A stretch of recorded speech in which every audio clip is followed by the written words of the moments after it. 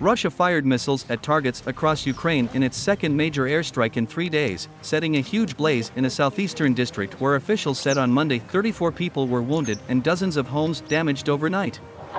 Ukraine said it shot down 15 of 18 incoming cruise missiles, shielding the capital Kiev and other major cities where air raid sirens rang. The only reports of widespread damage were in Pavlohrad, a railway hub behind the southern and eastern fronts. Ukrainian officials released images of a scorched wasteland and said an industrial enterprise was hit, which they did not identify.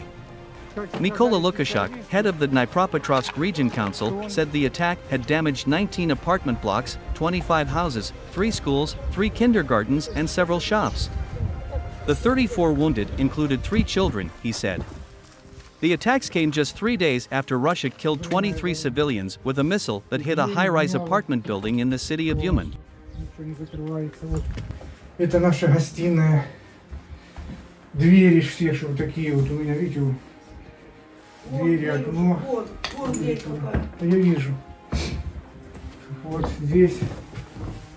Зал, потолок.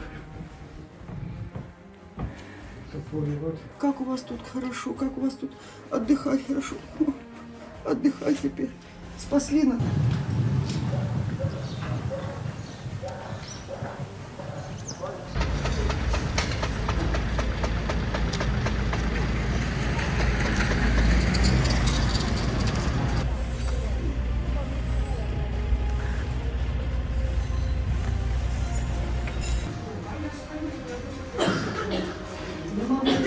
Pero también.